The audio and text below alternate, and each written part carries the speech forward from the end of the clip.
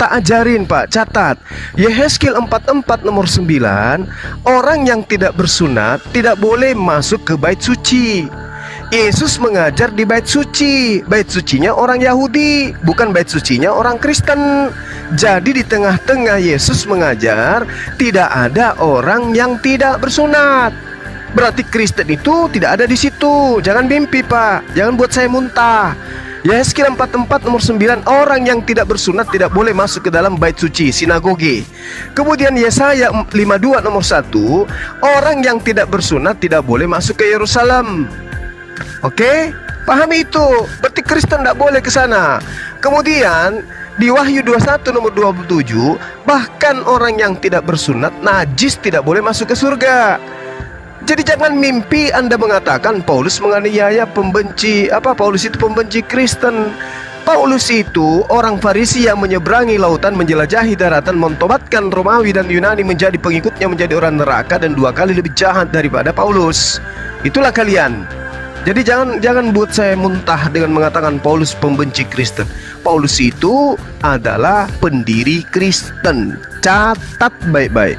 Kemudian Ketika Anda mengatakan, ya silakan, sekarang kan dunia digital, Anda silakan cari di mana kitab yang disembunyikan. Justru Anda yang harus menunjukkan kitab itu. Dan Anda harus paham yang menyembunyikan itu bukan Kristen. Anda terlalu percaya diri. Kristen itu agama baru yang Yesus tidak kenal. Oke? Okay? Yang sedangkan Al-Quran dikatakan yang menyembunyikan itu adalah ahli kitab. Anda bukan ahli kitab Anda adalah bahlul kitab. Anda adalah umat terjemahan Bukan ahli kitab Anda. Maaf saya harus keras. Anda itu bahlul kitab. Membaca kitab Anda sendiri dalam bahasa original teksnya aja nggak bisa Anda. Apalagi mau katakan ahli kitab. Sedangkan yang dikatakan Al-Quran Ahli kitab yang menyembunyikan kitab itu Nah sekarang mana kitabnya Yesus? Mana Injil Filipus? Mana Injilnya Yesus? Mana mana mana mana mana? Mana segala firman yang Yesus terima dari Tuhannya yang disampaikan kepada Bani Israel, bukan kepada orang Kristen. Ingat, sekali lagi saya katakan, jangan pernah sebut bahwa Paulus pembenci Kristen. Nanti saya muntah. Paulus sendiri mengatakan di dalam Galatia 2 nomor 14, orang-orang yang tidak bersunat itu adalah orang yang hidup secara kafir. Ya, jadi Anda kafir. Pengikut Yesus itu bukan orang kafir. Anda tahu, pahami itu.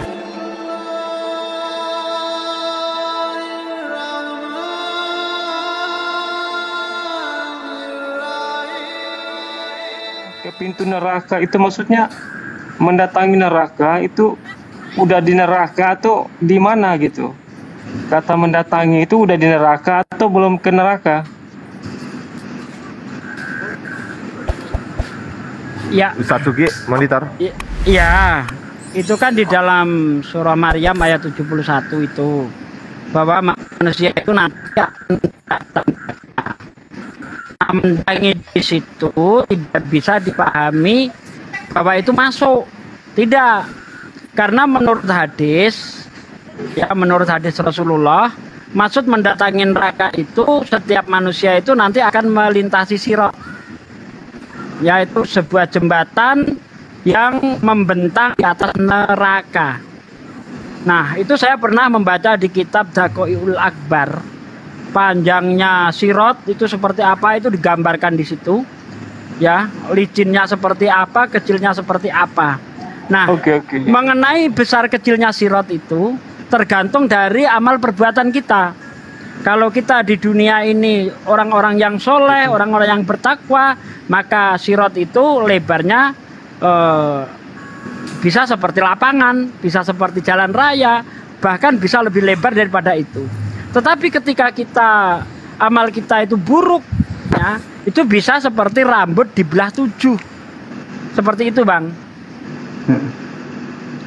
Ustadz Sugi, yang tadi tuh okay, itu okay. yang Wargu uh, Papi, Wargu Papi udah datang lagi nih. Mungkin tadi belum jelas tadi dia. Uang saya cari lagi, susah dapatnya. Ya, tadi saya menerangkan, membuktikan bahwa uh, dia kan lanjut, sebenarnya lanjut. ya dia sendiri mempertanyakan, makanya saya jawab apa buktinya Injil itu palsu? Saya jawab pakai Yohanes 21 ayat 24. Dialah murid yang memberi kesaksian tentang semuanya ini dan yang telah menuliskannya kita tahu bahwa kesaksiannya itu benar. Ini perkataan siapa, Bang? Injil mana, Bang? Yohanes 21 nomor 24. Kalau itu Yohanes mustahil. Tidak mungkin Yohanes menyebut dirinya nya, menyebut dirinya dia, itu tidak mungkin. Karena kalau itu Yohanes seharusnya ngomongnya akulah murid yang memberi kesaksian tentang semuanya ini. Dan kita tahu kesaksianku itu benar. Tapi di situ justru ngomongnya dialah, berarti menunjuk orang lain. Dialah murid yang memberi kesaksian tentang semuanya ini dan yang telah menuliskannya. Kita tahu bahwa kesaksiannya itu benar. Siapa dia ini yang ngomong?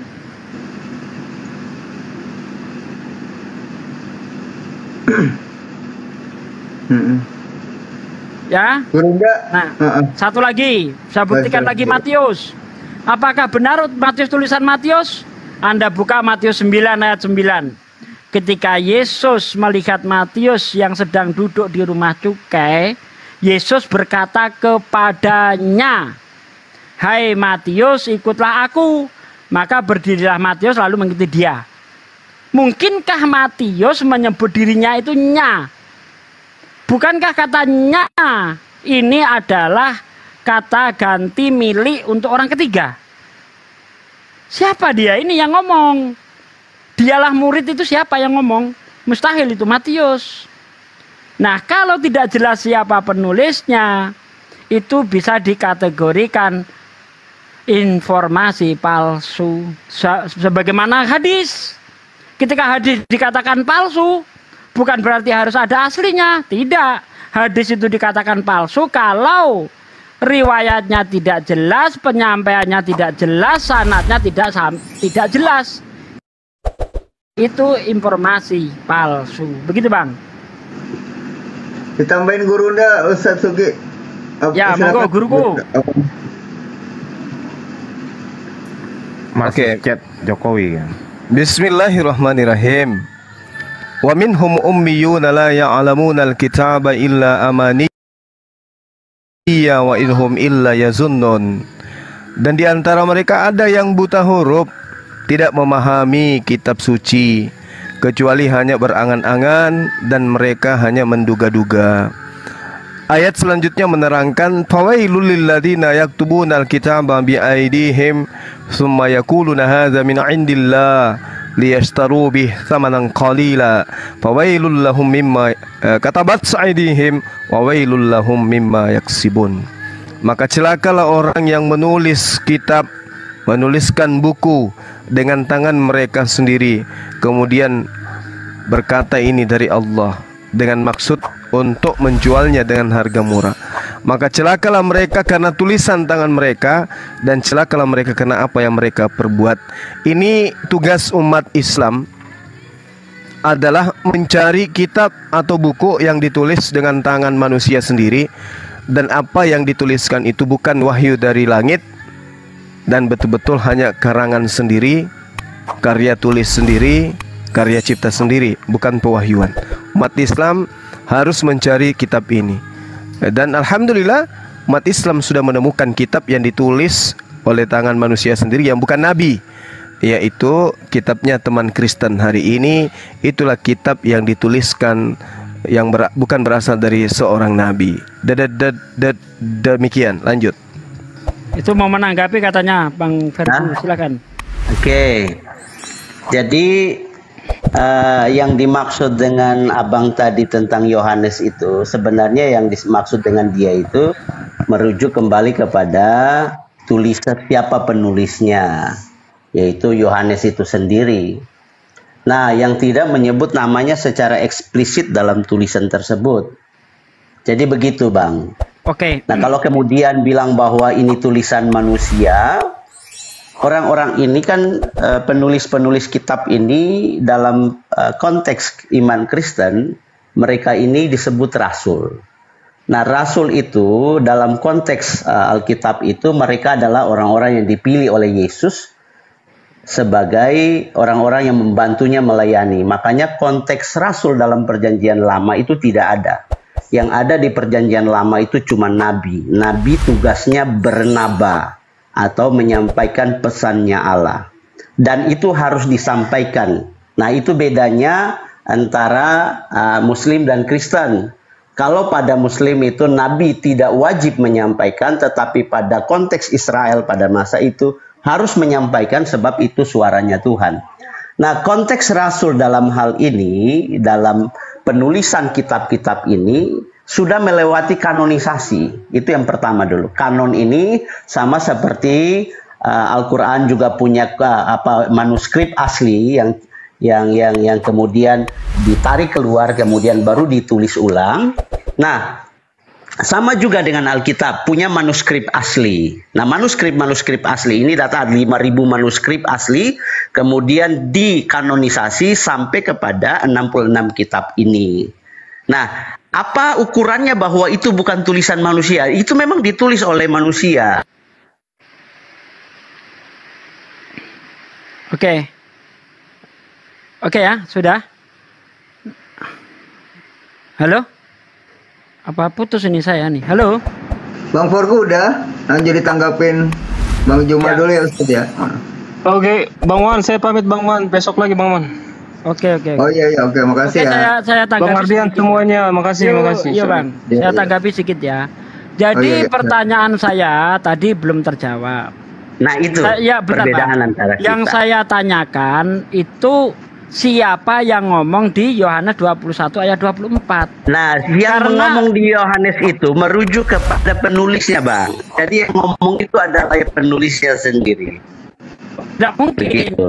Kalau itu penulisnya sendiri, seharusnya dia menggunakan kata uh, kata ganti pertama. Tapi dia nah, mengatakan memakai dia kata tidak ganti menampilkan orang, dirinya. Jangan jangan diserah, Bang, Bang. Jangan okay. diserah. Okay, Tadi Anda Anda ngomong nggak saya salah, kan? Ya, jadi kalau itu merujuk kepada penulisnya seharusnya menggunakan kata ganti orang pertama. Tapi faktanya di ayat itu menggunakan kata ganti orang ketiga. Itu satu. Yang kedua, pembuktian lainnya bahwa itu bukan ditulis oleh Yohanes. Yohanes saya baca dari sumber kekristenan itu lahir tahun 6 Masehi. Dia meninggal tahun 101 Masehi. Injil Yohanes ditulis tahun 96 Masehi sampai 150 Masehi. Berarti ada kelebihan 49 tahun. Ya, ini siapa ini yang nulis 49 tahun kemudian? Tidak jelas. Kemudian kalau Anda lihat di dalam kisah para rasul, ya uh, Ustaz Nandar pasti tahu ayatnya. Di situ dikatakan Yohanes itu uh, tidak terpelajar Bahkan di dalam bahasa Yunani dikatakan idiotai. Kita. Bagaimana dia bisa menulis kitab? Ustadz Nandar, uh, ayatnya Ustadz Nandar, idiotai Ustadz Nandar. Halo Ustadz Nandar. Nunggu Ustadz Nandar ya. Ya, ya, ya nanti saya uh, tidak terpelajar tulis gitu nanti tengok bahasa Yunaninya itu di situ disebut idiotai. Nah, kemudian mengenai nabi, Seharusnya ketika orang mengutip kata nabi, jangan melepaskan dari master bahasanya. Nabi hanya ada dalam pengertian bahasa Arab. Dalam bahasa Ibrani nggak ada kata nabi. Nevi. Nabi dari kata naba'ah. Artinya dari yang maha tinggi. Rasul ya itu utusan. Nah seharusnya ketika memanai Rasul jangan dilepas dong pengertiannya. Silahkan pakai tapi pengertiannya jangan dibuang. Rasul itu hanya ada di dalam Islam. Dalam Yahudi nggak ada Rasul. Apalagi dalam bahasa Yunani. Eh, yang artinya apa namanya apostolos. Itu tidak cocok diterjemahkan kepada Rasul karena di situ adalah utusan. Sedangkan Rasul itu utusan Allah. Nah, pengertian di dalam Islam, Rasul adalah orang yang mendapatkan wahyu dan wajib untuk disampaikan kepada kaumnya. Sedangkan Nabi dapat wahyu, dia tidak ada kewajiban untuk menyampaikan kepada kaumnya. Wahyu itu untuk dirinya dan untuk keluarganya. Nah, itu pengertian Nabi di dalam Islam. Begitu, Bang. Uh, silakan Santander udah ketemu. Jawab Bang ya. Uh, bentar, Aki Juma mau nambah ya, jadi Juma. Nabi ya. Jadi Nabi dalam Biar dia bahasa dulu. Ibrani Ya. itu. Oh ya, silakan. Saya tanggapi dulu ya. Ya ya ya ya. Nabi selain dari apa selain kata salah satunya tadi itu Nabi juga Apa deh? dalam bahasa Ibrani itu disebut nevi dalam bahasa Alkitab Ibraninya disebut anak nah kata Nabi ini muncul di abad ke-13 eh, eh, jauh sebelum sebelum Masehi abad kelima sebelum Masehi dan kemudian mulai dipakai. Nah, saya juga kurang paham eh, kalau Islam itu lahir kapan. Setahu saya dari informasi yang saya dapat tahun 632. Nah, kemudian bagaimana ada klaim bahwa nabi itu adalah istilah yang dipakai oleh Islam duluan. Kan kemudian jadi agak berbeda jauh kemu- karena sebelum itu kita percaya sama-sama bahwa tidak ada agama sebelum eh, munculnya agama Yahudi, kemudian Kristen baru Islam. Jadi istilah-istilah ini kan dipakai sebelumnya. Kemudian istilah rasul ini pun kan Yesus memakainya dulu. Nah, bahasa di sana apakah bahasa Arab yang paling tua atau bahasa Ibrani kuno yang paling tua? Nah, ini juga, juga saya belum tahu sih sebenarnya. Bahasa Arab kah atau bahasa Ibrani kuno yang lebih tua? Atau bahasa Aramik yang lebih tua? Nah, karena dari sumber bahasa inilah kemudian kita bisa menggali bahwa mana yang lebih dulu nih. Kalau bahasa Aramik yang dipakai dulu berarti itu bukan bahasanya eh, bukan bahasanya Islam. Karena bahasanya Islam memang bahasanya adalah bahasa Arab. Karena di tahun 600-an. Tapi kalau bicara bahasa Aramik berarti ya bahasa itu pada per- perjanjian lama bahkan mungkin bisa jadi agama Yahudi Yudaisme pun belum ada. Nah, kayak begitu. Jadi klaim-klaim seperti ini menurut saya juga tidak tepat. Oke, seperti itu jawaban saya. Silakan Bang Juma. Biar Ahi tu- Sugi tuntaskan dulu Ahi. Oh, Lanjut. Ustadz Sugi itu ini Ustadz Sugi kisah para Rasul 4 ayat ke-13. Ah, ya, silakan dibaca Ustaz Nandar. Bahasa Ya, Yunaninya itu. sedang- Betul tak di situ Ya, siap. Yohanes idiot tai. Betul betul betul.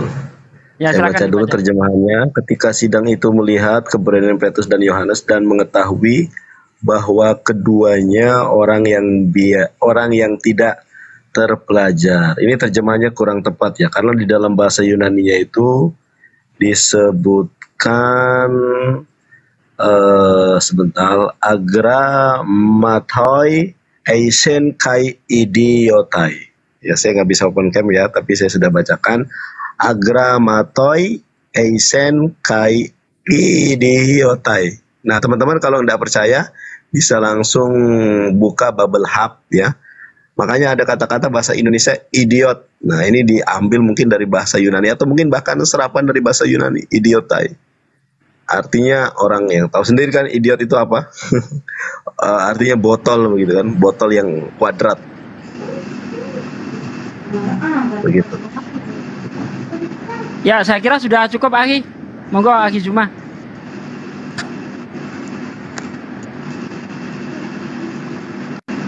Bang. Tentang Bang Juma. ideotype itu Bang. boleh bang? Ya. Gurunda Suma, Gurunda Suma monitor Gurunda. Ya, ya. Ya, silakan silakan Aki. Eh, ya gimana gimana? Enggak mau nanya Ustaz Nandar itu eh, kisah para rasul berapa tadi Ustaz Nandar? 413 itu Ahi. Oke, lanjut Aki. Monggo. Saya mau ngecek bahasa Yunaninya. Iya, jadi gini, saudara Vergo.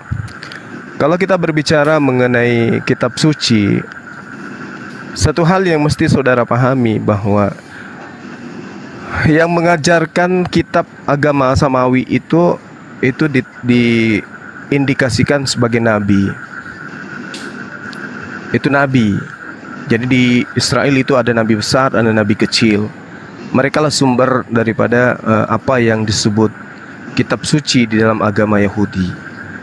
Sedangkan mereka yang disebut nabi itu sudah pasti didatangi oleh malaikat. Itu, sudah pasti didatangi oleh malaikat karena Tuhan pencipta langit dan bumi itu tidak akan mungkin nusul langsung ke atas muka bumi. Jadi ada utusan yang kemudian disebut malaikat datang kepada nabi tersebut untuk menyampaikan firman. Nabi Musa menerima Taurat itu juga bukan langsung dari Tuhan. Di dalam kitab saudara diterangkan begitu, tetapi melalui malaikat. Begitu juga Daud, begitu juga Salomo, Begitu juga Yesus. Yesus itu didatangi malaikat, diberi kekuatan oleh malaikat. Yesus tidak pernah bertemu langsung dengan sang Bapa yang di langit. Itu nggak pernah. Tidak ada dalilnya. Kecuali Lukas menceritakan ada suara dari langit. Gitu. Nah, sedangkan ketika Anda melihat kitab saudara, surah-surah Paulus itu ada 14 bab. Dan ternyata menurut saudara dia itu bukan nabi, tapi dia rasul. Bagaimana mungkin dia rasul sementara nabi aja kagak? Rasul itu adalah posisi yang ditemukan saat seseorang sudah melewati pintu kenabian. Nabi dulu baru bisa jadi rasul. Tidak ada jadi rasul langsung dari tidak tanpa melalui nabi.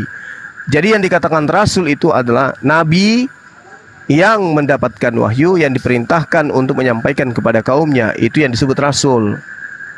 Nah, itu yang perlu saudara pahami. Nah, kemudian harusnya ketika Anda jujur mengakui Lukas, Matius, Yohanes dan juga Paulus itu tidak pernah dipanggil oleh Yesus untuk memberitakan firman.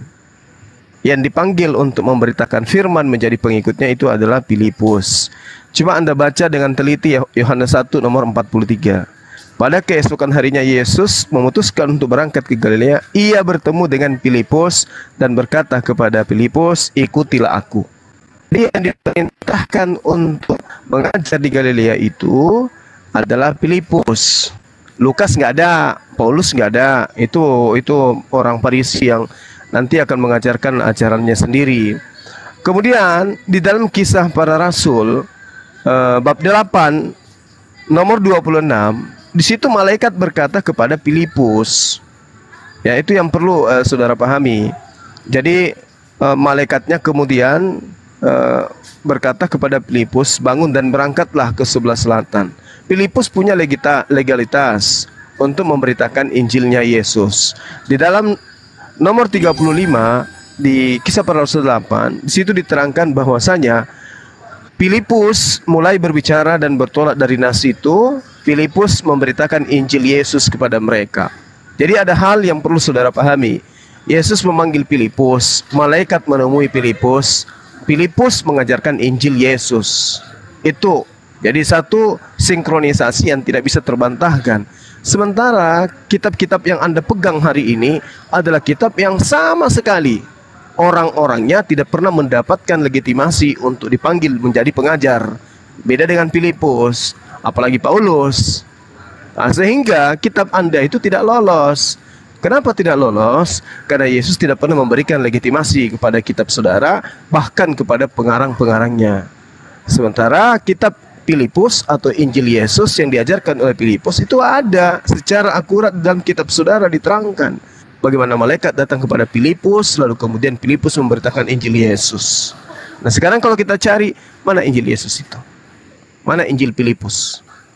Anda bisa temukan? Tidak bisa. Maka benarlah apa yang diterangkan oleh Al-Qur'an di dalam surah Ali Imran uh, Al-Maidah sorry yang mengatakan bahwasanya ahli kitab itu menyembunyikan kitab yang datang kepada mereka. Ya halal kitab kata ja'akum rasuluna yubayyinu lakum katsiran mimma kuntum tukhfuna minal kitab wa ya'funa an katsir qad ja'akum minallah nuru wa kitabum mubin.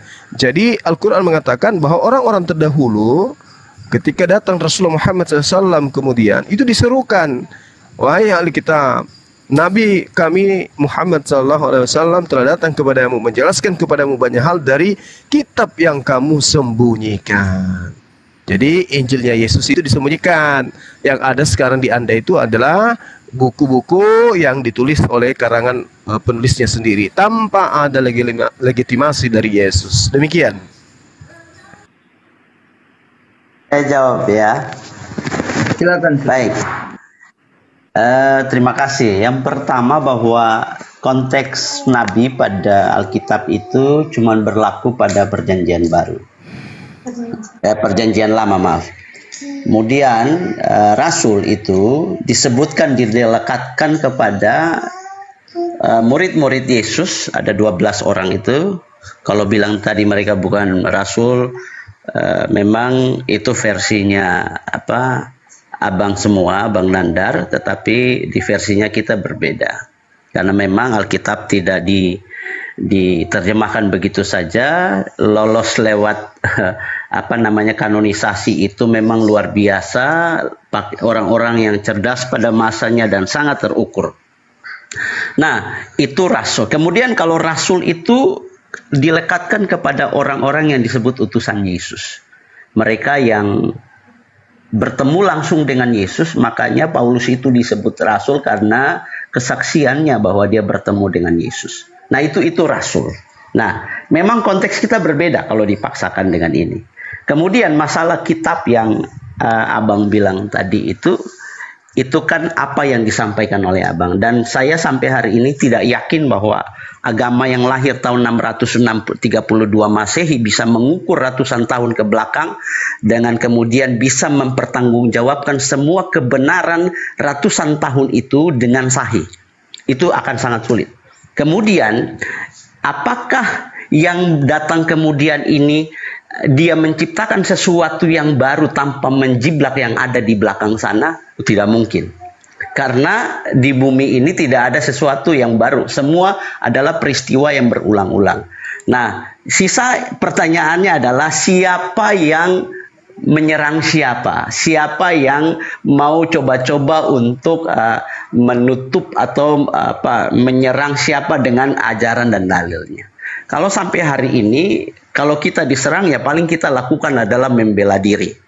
Itu yang disebut dengan uh, apa kita melakukan apologetika, membela diri. Nah, memang selama ini kita melakukannya apologetika saja. Kalau mau menyerang itu kita paham betul bahwa konsepnya kita sudah berbeda jauh. Dan kalau bicara tentang Yesus lagi itu sudah sangat sangat sangat berbeda dan tidak mungkin kecuali ada peristiwa yang di mana membuat orang percaya dengan sendirinya. Karena contoh seperti Paulus yang adalah suku Benyamin asli orang Yahudi, dia yang membunuh orang-orang Kristen ke mana-mana. Suatu saat dia pergi ke Antioch, eh, pergi untuk tugas pembunuhan terhadap orang Kristen, di perjalanan dia percaya kepada Yesus. Jadi memang agak susah memaksakan cuman dengan akal lalu kemudian orang percaya kepada Yesus. Nah, karena perdebatan tentang uh, Trinitas, perdebatan tentang Yesus itu anaknya siapa? Yesus itu anaknya Allah, bukan anaknya manusia. Kalau tadi abang yang tadi itu bilang bahwa kakeknya adalah Yakub, Yesus nggak punya kakek secara lahiria, nggak ada kakeknya. Nah, kakeknya Yesus siapa? Tidak ada karena Alkitab menyaksikan bahwa dia datang dari rohnya Allah. Nah, itu yang kemudian dalam perut Maria lalu lahirlah Yesus. Jadi saya membantah apa yang disampaikan oleh Abang Nandar semua itu.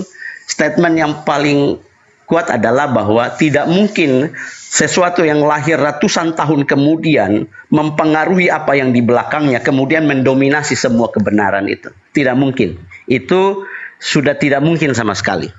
Terima kasih Bang. Oke, saya komentari dulu ya. Anda tadi mengatakan tidak mungkin yang datang belakangan itu menciptakan yang baru. Ya tidak mungkin karena penciptaan itu sudah dari awal. Nah, kedatangan Al-Qur'an itu untuk membenarkan yang bengkok. Ini kan bercerita tentang penciptaan. Benar, Bible itu memang secara runut tapi tidak sesuai dengan fakta. Ini saya kasih contoh ya. Al-Qur'an meluruskan apa yang bengkok di dalam kitab Anda.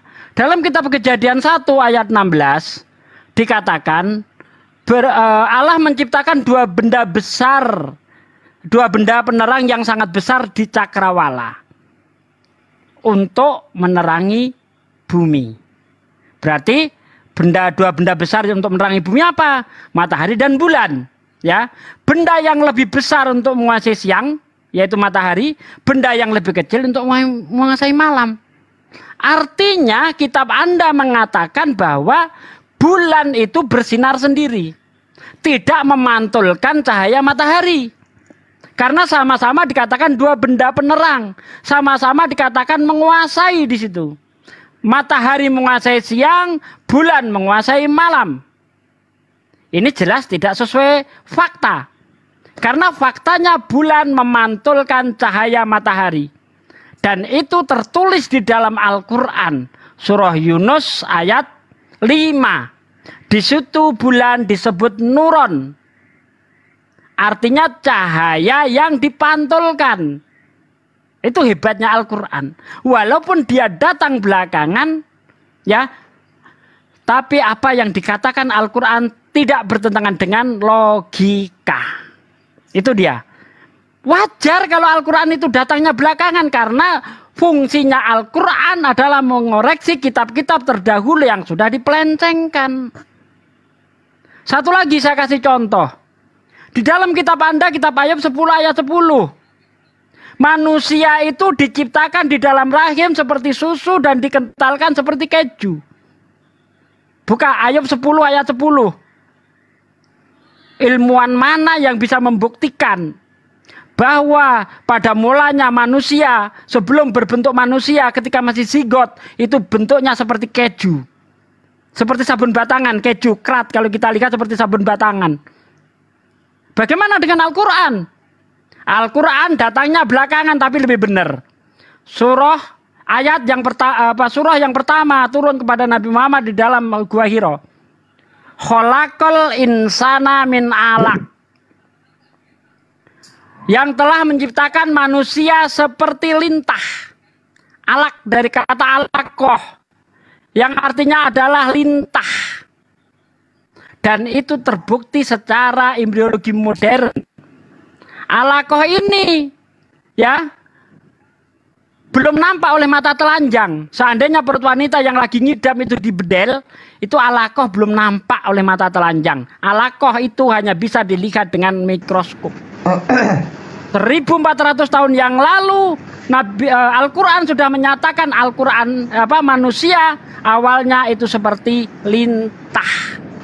Terbukti secara ilmuwan. Al-Qur'an datang belakangan, tapi Al-Quran ketika bercerita tentang penciptaan tidak ada yang bertentangan dengan penciptaan.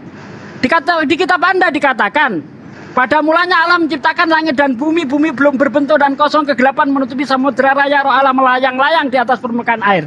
Berfirmanlah Allah jadilah terang maka terang itu jadi Allah melihat terang itu baik. Allah meli, uh, memisahkan terang itu dengan gelap. Yang terang dinamakan siang, yang gelap dinamakan malam. Allah melihat semuanya itu baik, jadilah petang, jadilah pagi. Itulah hari pertama. Ilmuwan mana yang sepakat bahwa awal mula terbentuknya manusia itu eh, apa eh, dunia ini seperti itu. Al-Qur'an 1400 tahun yang lalu menerangkan awal mula penciptaan jagat raya ini diawali dengan Big Bang. Padahal Big Bang ditemukan tahun 1924 oleh Demetri. Al-Quran mengatakan surah Al-Anbiya ayat 30 awalam yara ladina kafaru anas samawati wal ardo kana tarot kong fabatanahuma. Apakah orang-orang kafir tidak tahu bahwasanya langit dan bumi dahulunya adalah sesuatu yang padu lalu kami pisahkan keduanya. Ini berbicara tentang Big Bang. Tidak bertentangan dengan ilmu pengetahuan. Bible bertentangan. Ada siang, malam di hari pertama, mataharinya diciptakan hari keempat. Kejadian 1 ayat 14 sampai ayat 19. Bagaimana itu? Walaupun belakangan, karena fungsinya dia mengoreksi, tentu datangnya belakangan, tidak mungkin datangnya duluan. Tidak mungkin. Terima kasih. Monggo akhir Juma dilanjut. Iya, saya sedikit aja ya. Gini, Bung. Tadi saudara mengatakan di dalam perjanjian baru itu sudah tidak ada nabi. Anda belajar di mana rupanya? Kitab saudara menerangkan di kisah para rasul 13 nomor 1 catat supaya lain kali tidak mengulangi kesalahan yang membuat Kristen lain malu. Di kisah para rasul 13 nomor 1 jelas sekali diterangkan di situ ada nabi. Waktu itu dalam jemaat di Antioquia ada beberapa nabi yang mengajar. Barnabas, Simeon, Lukios, lalu kemudian uh, Menachem dan juga Saulus. Saulus ini berdiri di deretan nabi. Jadi Anda keliru ketika mengatakan bahwa di dalam perjanjian baru itu tidak ada nabi. Paulus pun itu masuk dalam deretan nabi. Jadi tidaklah mungkin menjadi rasul kalau tidak menjadi nabi. Harus nabi dulu. Nah kalau anda mengatakan Paulus itu bukan nabi Lalu dari mana ilmunya 14 kitab itu ilmu dari mana dia dapatkan Kalau dia bukan nabi Nah inilah yang diterangkan Al-Quran Celaka orang yang menulis buku Mengatakan itu dari Tuhan Padahal itu karangannya sendiri Itu satu Kemudian anda mengatakan tidak mungkin yang datang lebih dulu meniru yang datang belakangan. Tadi Anda menyebut kata Alkitab. Tidak ada kata Alkitab di dalam Torah Musa. Tidak ada juga di dalam Injil sebutan Alkitab. Itu ditiru dari Al-Qur'an. Berarti kalau Anda merasa lebih dulu, eh lucunya niru yang datang belakangan. Anda juga mengatakan bahwa Yesus itu bukan anak manusia, tetapi Yesus itu adalah anak Allah. Di mana lagi Anda mendapatkan istilah Allah ini? Ya, istilah Allah Anda ambil dari Al-Quran Meskipun diplesetkan cara penyebutannya Allah Padahal Allah itu kalau dalam bahasa Ibrani artinya apa? Sumpah serapa atau pohon. Ya, kalau dalam bahasa Indonesia Allah itu semisal atau seperti. Nah, sedangkan ketika Anda mengatakan Yesus itu adalah anak Allah, itu Anda sudah menghina agama Islam sebenarnya karena Allah itu tidak punya anak.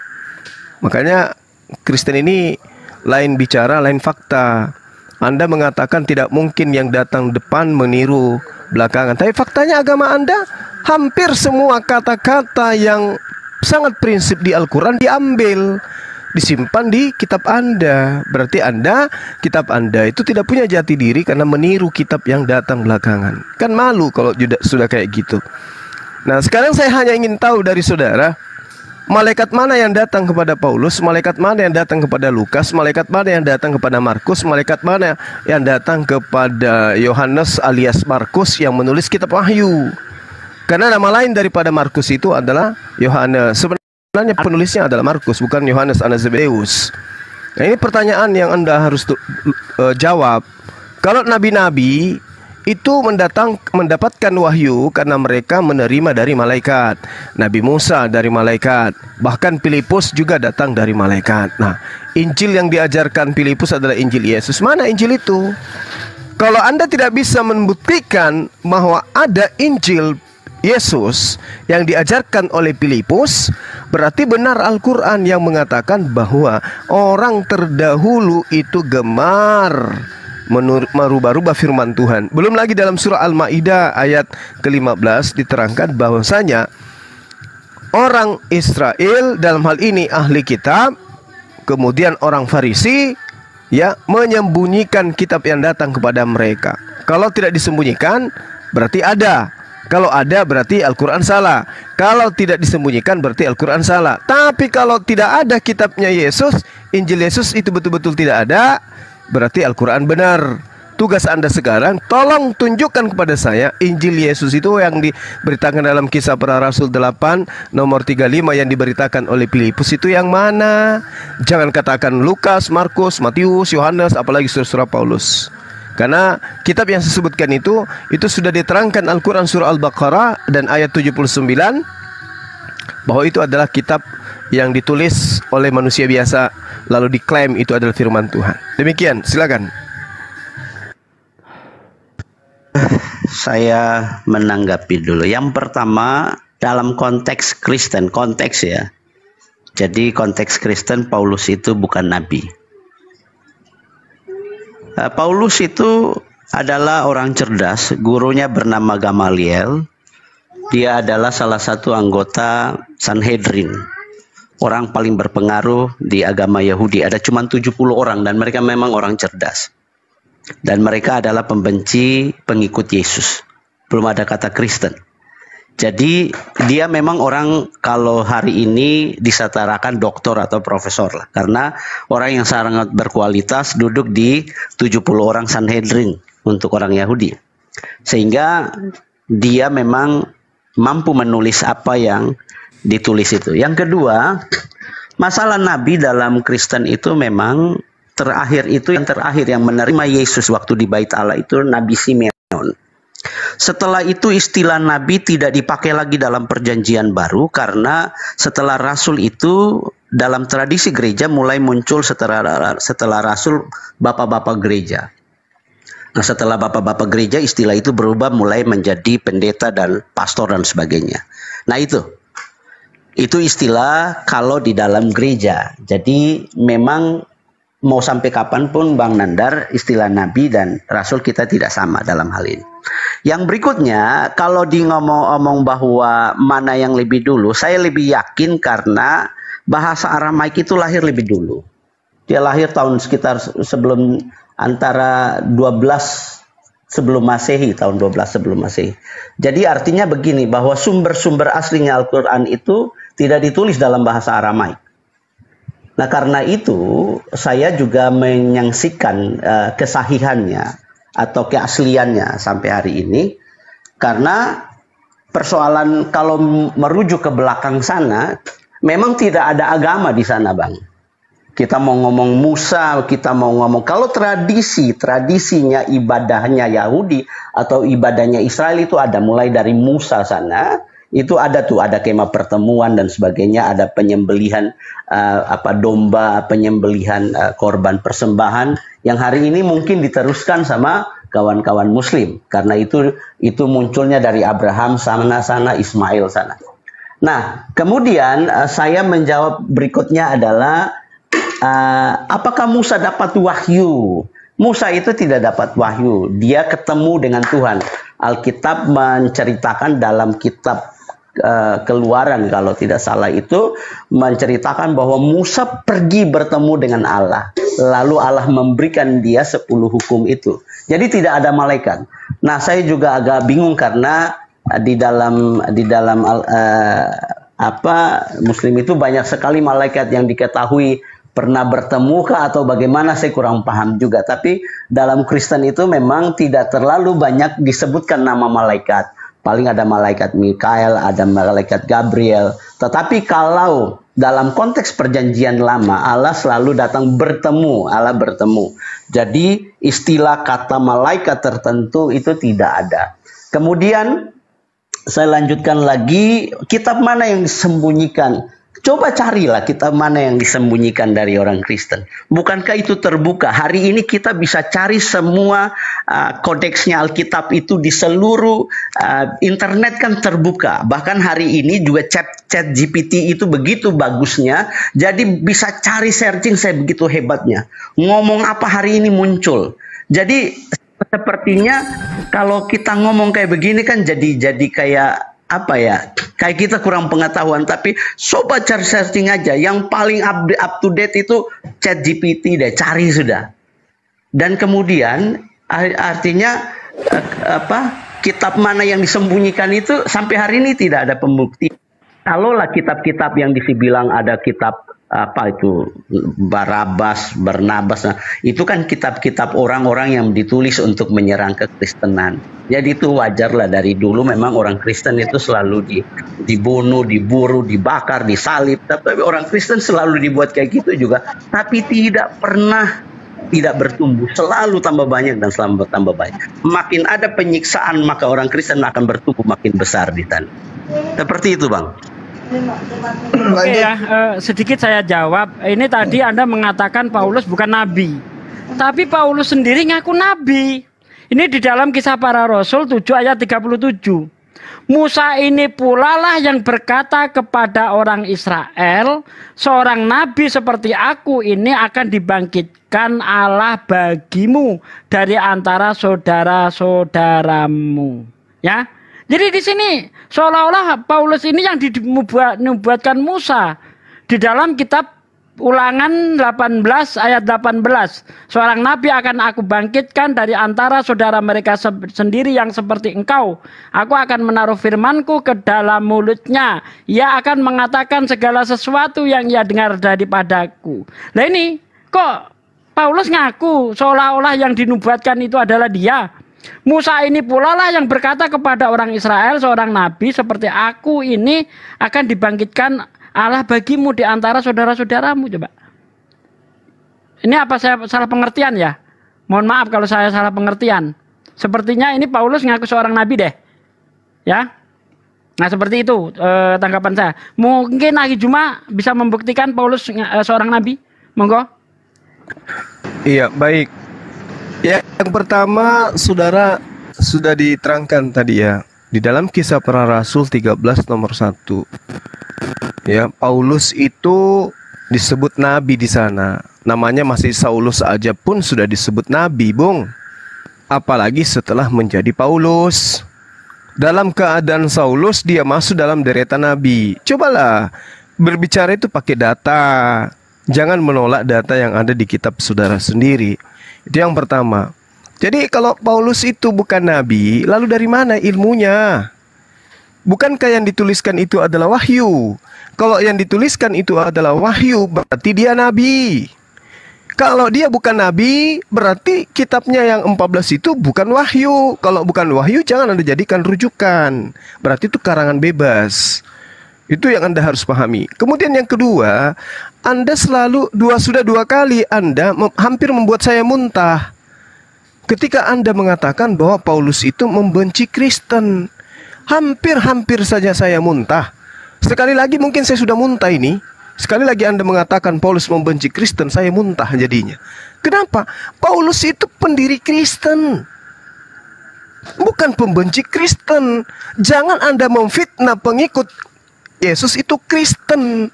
Bukan. Pengikut Yesus itu adalah orang yang taat kepada hukum Taurat. Tauratnya Musa, orang yang mempersembahkan kurban hewan, bukan orang yang mempersembahkan manusia. Sedangkan Kristen itu adalah penyembah-penyembah sesajen. Oke? Kristen itu penyembah tumbal. Tumbalnya orang Romawi, sesajennya orang Romawi berupa manusia itu yang dituhankan oleh orang Kristen. Bedakan antara pengikut Yesus dengan pengikut Paulus. Kalau pengikut Yesus itu orang-orang bersunat, sedangkan Kristen itu adalah orang-orang tidak sunat. Tak ajarin Pak, catat. Yehezkiel 44 nomor 9, orang yang tidak bersunat tidak boleh masuk ke bait suci. Yesus mengajar di bait suci. Bait sucinya orang Yahudi, bukan bait sucinya orang Kristen.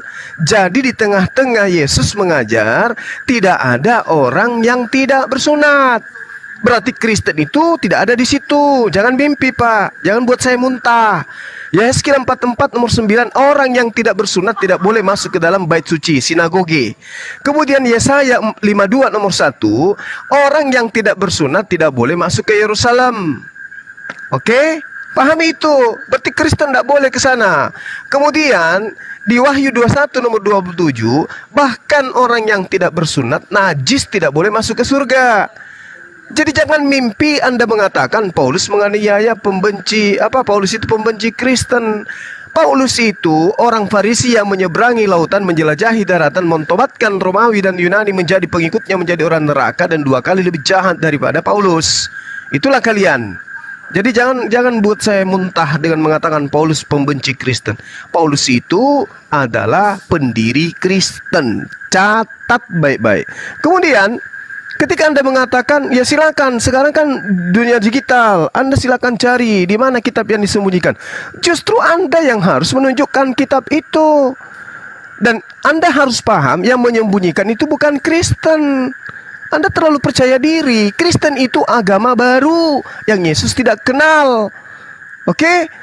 Yang sedangkan Al-Quran dikatakan yang menyembunyikan itu adalah ahli kitab. Anda bukan ahli kitab. Anda adalah bahlul kitab. Anda adalah umat terjemahan. Bukan ahli kitab Anda. Maaf, saya harus keras. Anda itu bahlul kitab. Membaca kitab Anda sendiri dalam bahasa original teksnya aja nggak bisa Anda. Apalagi mau katakan ahli kitab. Sedangkan yang dikatakan Al-Quran, ahli kitab yang menyembunyikan kitab itu. Nah sekarang mana kitabnya Yesus? Mana Injil Filipus? Mana Injilnya Yesus? Mana, mana, mana, mana, mana? Mana segala firman yang Yesus terima dari Tuhannya yang disampaikan kepada Bani Israel, bukan kepada orang Kristen. Ingat, Sekali lagi saya katakan, jangan pernah sebut bahwa Paulus pembenci Kristen. Nanti saya muntah. Paulus sendiri mengatakan di dalam Galatia 2 nomor 14, orang-orang yang tidak bersunat itu adalah orang yang hidup secara kafir. Ya, jadi Anda kafir. Pengikut Yesus itu bukan orang kafir. Anda tahu, pahami itu.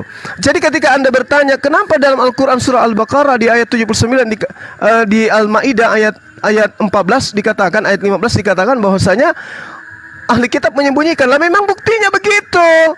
Yang Anda temukan itu cuma karangan orangnya bernama Lukas, dia bukan nabi. Karangan Paulus dia bukan nabi. Ya, karangan Matius dia bukan nabi, karangan Markus dia bukan nabi. Yang Anda kitabkan itu adalah tulisan manusia biasa. Sementara yang disebutkan Al-Qur'an adalah kitabnya para nabi yang disembunyikan oleh ahli kitab. Sehingga Anda hanya bisa mendapatkan terjemahan. Hanya terjemahan. Kitab aslinya nggak Anda temukan. Kenapa disembunyikan? Demikian Silakan Bang Forgo ditanggapi. Yang pertama bahwa Paulus bukan pembenci ya. Sebelum jadi Paulus namanya Saulus. Tadi saya sudah jelaskan kayaknya. Dia adalah anggota Sanhedrin 70 orang itu dan memang mereka memusuhi Kristen dan dia orang-orang yang membunuh orang Kristen sebelum dia bertemu Yesus kemudian dia jadi Pak, Pak, tunggu, tunggu, Jadi Pak, tunggu, tunggu, Pak. Nandar kalau Se mau muntah-muntah saja karena Pak, sebelum lanjut, Pak, Pak, Pak, sebelum lanjut, sebelum lanjut, saya mau tanya kepada saudara, apakah pengikut Yesus yang sesama dengan Yesus adalah ada di antaranya satu orang saja yang tidak bersunat? Ada satu orang saja yang kemudian makan babi di antara pengikutnya saya, yang sesama Saya pengikut ada Yesus enggak? yang makan babi. Nah, itulah makanya saya katakan, bukan Anda yang saya tanya. Anda kan mengatakan bahwa Paulus membenci pengikut Yesus. Iya kan? Anda mengatakan Paulus membenci adalah membenci orang Kristen. Sementara Kristen ini adalah umat goyim, Pak. Umat goyim, bukan Bani Israel Kristen itu. Jadi tidak ada pengikut Yesus itu yang yang kemudian disebut Kristen. Jadi yang dibenci oleh Paulus bukan Kristen. Yang dibenci oleh Paulus adalah Bani Israel, pengikut Yesus, orang-orang yang bersunat, yang tidak makan babi, yang ibadahnya di sinagoge. Kristen itu nanti di Antioquia, Pak. Pendirinya Paulus. Jangan Anda mengatakan Paulus pembenci Kristen, jangan. Anda terlalu berlebihan itu, Anda ngarang bebas. Oke, lanjut. Orang yang menyebut diri percaya kepada Yesus itu sudah ada sejak Yesus ada. Per Kemudian percaya sebagai utusan Tuhan, Pak. Percaya sebagai nah, utusan Tuhan. Satu-satu, saya jelaskan selesai. Percaya sebagai utusan Tuhan, bukan percaya sebagai Tuhan. Yang percaya ke sebagai Tuhan itu adalah penyembah tumbal, itu Kristen. Penyembah sesajen, itulah Kristen. Sesajen ya, yang dipersembahkan yang kepada Theos. ya Anda. Karena Yesus, dalam pengajaran Ye Yesus dia Yesus. tidak pernah pakai pedang, dia tidak pernah Yesus itu orang. Yesus itu tumbal Yesus atau bukan? tidak pernah kawin terlalu banyak orang. Yesus itu tumbal Yesus atau bukan? tidak pernah bunuh orang untuk Yesus itu tumbal atau bukan? Tidak pernah. Yesus itu tumbal atau bukan?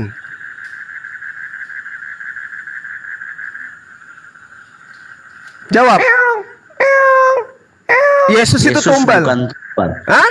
Jadi bukan tumbal Yesus baca itu. Di mana? Dibaca di mana Yesus tumbal? Tumbal itu adalah iya, korban. Itu? Tumbal itu adalah korban persembahan kepada Theos. Iya, baca di mana? Iya, enggak usah dibaca, enggak usah dibaca. Jawab aja apakah ah, apakah ya, sukanya kayak gitu. Oke, oke, oke, oke. Oke. Oke, oke, dengarkan. Dengarkan. Lain, Bang. Ya, silakan silakan aja. Anda baca Efesus 5 nomor 2. Abang. A Anda baca Ibrani 8 nomor 28. Anda baca Ibrani 9 nomor 28. Anda baca Efesus 5 nomor 2. Anda baca Ibrani 10 nomor 10. Yesus itu dipersembahkan. dipaksakan pahamnya. Sebagai apa? Sebagai korban. Sebagai korban untuk mati menyelamatkan manusia. Sebagai ah itu, itu dia mati dia mati sebagai tumbal untuk Kristen. Oh, tidak. Lalu apa? Lalu apa? Ya, kalau dia bukan tumbal lalu apa? apa? Kamu bahasa Indonesia, Bang. Lalu apa kalau bukan tumbal? Lalu Baca apa kalau bahasa Indonesia nya, Bang? Dengar dulu, dengar dulu. Kalau kalau dia bukan tumbal lalu apa? terus terus apa yang disebut dengan pengorbanan? Eh, ya korban itulah Pengorbanan tumbal. beda dengan kalau, tumbal nggak? Kalau tumbal itu korban. Ah, tumbal itu jadi korban. tumbal itu, Hah? eh dengar Hah? dulu. Hah? Ja- Hah? Yang harus saya, saya tanya Ya yang udah, ngomong dulu, saya, Bang, saya tanya dulu. saya tanya saya tanya yang harusnya yang harusnya menjadi tumbal di atas tiang salib korban di atas tiang salib itu siapa Yesus atau kalian Kali, ka- kalian ah kalian kan orang ah, kalian orang karena Islam yang lebih paham gitu. Nah, kalian kan yang harus jadi jadi korban kan? Tetapi karena Yesus datang dengan kasihnya, dia yang harus menjadi tumbal di atas tiang salib. Betul atau tidak? Kalian Nih menurut. KBBI, menurut Kalian KBBI, paham kan lebih Eh, paham. sedikit ya kan. ini menurut KBBI tumbal Daripada orang Kristen. Ya, bentar-bentar Bang, ini saya buktikan kata Bang Juma Bang. Tumbal menurut KBBI kurban persembahan dan sebagainya untuk memperoleh sesuatu yang lebih baik. Itu nomor dua. Silakan buka KBBI menurut Anda. Tadi kan Anda minta KBBI Minta. itu. Nah, jadi Ya. saya, saya lanjutkan tema Minta kita ya. Menjelaskan, Jadi jelaskan malah masuknya ke mana-mana. jadi Berarti saya, ketika saya- Bang Juma mengatakan Yesus tumbal nggak salah. Iya. Karena arti tumbal itu biar biar ah, biar persembahan fair. Bang. Tadi kan sudah ngomong Bang Nandar. Saya jawab tadi, dulu ya. Tadi pertanyaannya tentang Paulus, ya kan? Sekarang malah ke mana-mana. Iya, saya mengatakan- mana? Aduh, saya mengatakan- saya mengatakan Kristen itu penyembah tumbal, sedangkan pengikut Yesus itu tidak menyembah tumbal. Betul atau tidak? Betul. Jadi jangan kamu kata Kenapa nggak masuk ke Katakan Kristen lagi, aja, bang? jangan jangan katakan bahwa Paulus itu abang pembenci lebih paham Kristen. kan masuk Jangan. Kristen aja, bang. Tadi Kisah para bilangnya Rasul KBBI. 11 Ya. ayat Masuk 26 ya ketika para murid ya Masuk Kristen berkumpul aja. di Antioquia setahun lamanya sambil mengajak orang apa mengajar banyak orang di situlah pertama kali disebut Kristen lah kok ini murid-murid Yesus anda katakan Kristen nih gimana Masuk, padahal kata masuk Kristen Kristen aja, bang. Abang lebih paham ya kok. saya nggak mau nyembah tumbal bang Masuk Kristen aja, bang. Ab- Abang lebih paham. Nggak nyambung, nggak nyambung, nggak nyambung, nggak nyambung. Silakan Tadi minta nggak nyambung. Iya, Tadi minta masuk KBBI. Udah Masuk dijelaskan Kristen aja, kan? Bang. Nggak tadi kan minta KBBI. Ya saya jawab dikejar- dulu, dikejar jawab dulu kan? apanya Bang Nandar biar selesai saya Bang Nandar ngomong lagi. Ya, Bang Markus Nandar, Bang kan Nandar dari minta tadi KBBI. aja kok. Ya, Bang Markus kan minta KBBI tadi, udah ditabok Bang sama Juma mana ya? KBBI. Ya kan? Sinyal. Sinyal ya. Sinyal, sinyal. KBBI. naik lagi. Bang Juma Abang, Iya, jadi lain. ketika Bang Juma mengatakan Yesus itu tumbal nggak salah. Anda minta KBBI saya buktikan. Ternyata Betul. di KBBI nomor dua, yang nomor pertama gini ya, eh, tumbal sesuatu yang dipakai untuk menolak penyakit dan sebagainya. Ya, yang nomor dua kurban persembahan dan sebagainya untuk Itu ada memperoleh kodenya sesuatu tuh. yang lebih baik. Ada kodenya Ustaz Zuki. Kodenya adalah JW. JW itu jiwa. Yang ngajarin tumbal kan Tuhan sendiri gimana?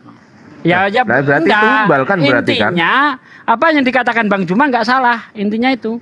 Kalau mengatakan Yesus tumbal nggak salah. Udah, jangan protes kalau Yesus dikatakan tumbal.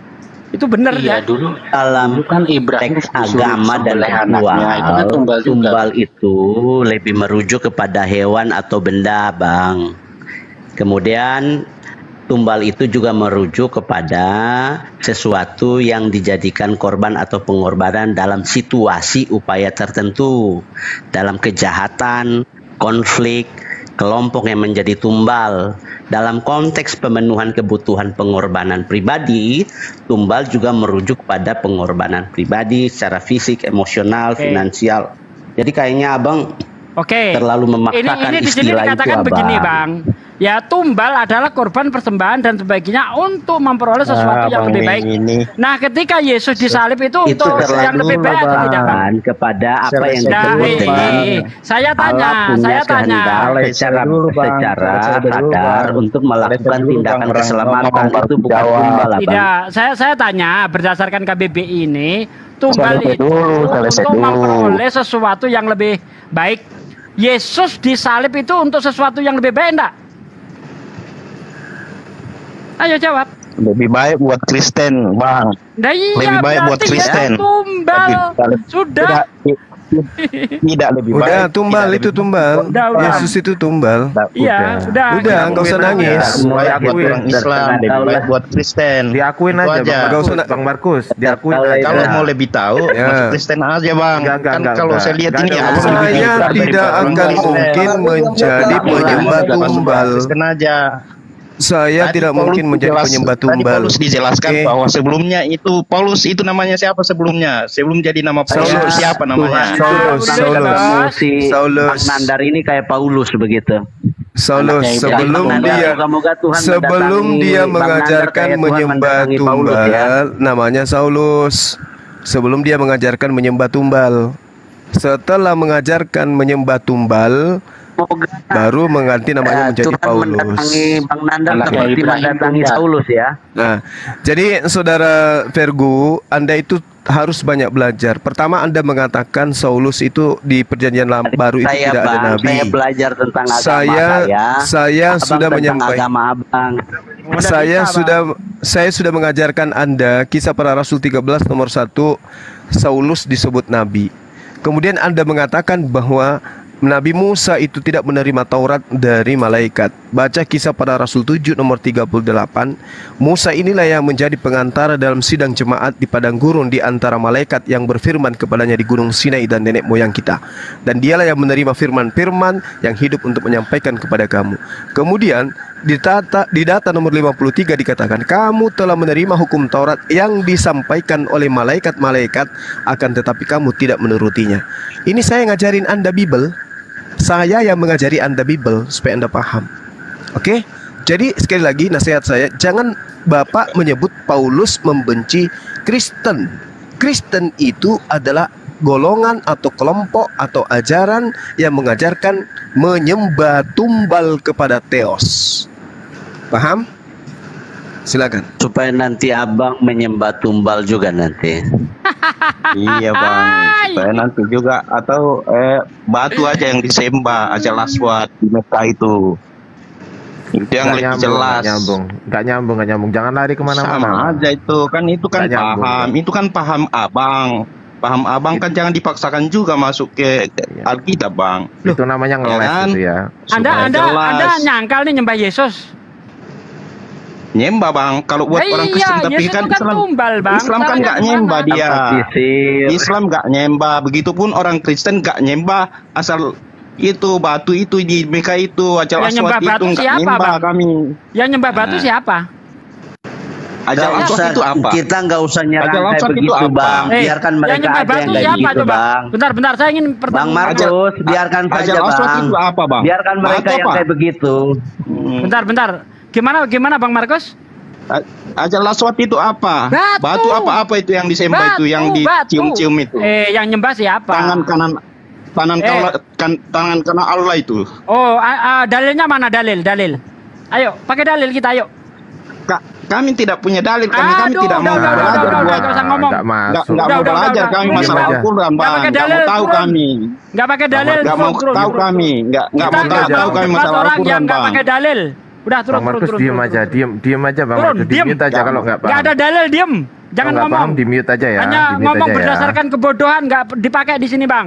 Kita semua ngomong pakai dalil, ya, pakai dalil kita. Nggak pakai dalil, turun. Gitu.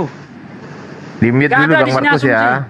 Bang Markus diterima di mute dulu ya. Bang Forgu pakai dulu yang ngomong Bang Markus, diam dulu kalau nggak Iya tahu. bang. Lanjut Bang Forgu. Lanjut Bang Bang silakan. Nanda. Ya, jadi ya begini Bang Nandar. Nggak ada, bang Ini- Nandar nggak ada ngomong dari tadi bang. Oh, yang ngomong Bang siapa? Bang Bibi ya? Sugi, Bang uh, Juma. Bibil berjalan, saya sama Oke, bang Juma. Bang Bibel berjalan. Jadi Bang begini Nandar, Bang Bibel. Jadi kalau mengenai Paulus itu sudah fix lah kalau kita dia bukan nabi. Kemudian kalau kemudian bilang Yesus adalah tumbal, tadi kan kita sudah bahas apa itu KBBI. Nah tadi Bang Bibel berjalan kayaknya sedikit memaksakan maksud dari kata-kata ini karena sudah saya jelaskan di sana bahwa konteksnya itu kalau tumbal itu dalam konteks agama merujuk pada hewan atau benda yang dikorbankan sebagai bagian dari upacara keagamaan atau ritual tertentu. Tumbal sering dianggap sebagai persembahan kepada dewa atau entitas spiritual dengan tujuan mendapatkan berkat. Kalau bicara Yesus, Yesus bukan tumbal. Kenapa? Itu tertulis dalam Alkitab. Dari perjanjian lama dijanjikan, disampaikan, di nabi para nabi membicarakannya, kemudian terjadilah pengorbanan. Nah, dilakukan oleh siapa? Dilakukan oleh kehendaknya sendiri. Jadi tidak ada manusia yang kemudian menumbalkan Yesus. Karena masalah dosa ini bukan masalah perbuatan baik segunung untuk menutupi perbuatan jahat segunung, nggak begitu. Konteks dosa di antara kita pun berbeda cara pengampunan dosa. Nah, kalau di Abang mungkin perbuatan baik, perbuatan jahat ditimbang dan sebagainya. Tetapi di Alkitab kami me me di menyampaikan bahwa dosa itu dilakukan oleh Adam diturunkan kepada semua keturunannya nah, dan itu upah dosa adalah bang? maut. Kabar Pak. Uh, iya, iya saya ingin dalil dong, dalil. Nah, kabar. kabar saya selesai omongin baru saya sampaikan. Jangan dipotong ah. dulu. Enggak, supaya ada dalilnya supaya lebih mantap gitu, supaya lebih mantap. Tunjuk dalil bahwa itu dosa itu akan diwariskan. Itu udah dalil itu. Aduh, itu udah dalil itu. Bang Markus Bang Markus nggak paham perdebatan ilmiah ya. Iya. Diam aja ya. Diam aja dulu, di mute dulu. Ini itu Bang, lebih, ketika lebih Anda itu. membuat statement itu harus berdalil. Anda mengatakan dosanya Adam itu diturunkan kepada anak keturunannya. Tolong tunjuk dalil supaya kami percaya.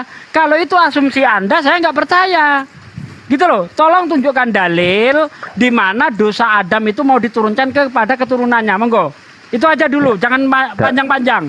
Dalil itu literasi, Bang. Literasi ya. Iya. Saya garis bawahi literasi. Oke. Okay? Ayo.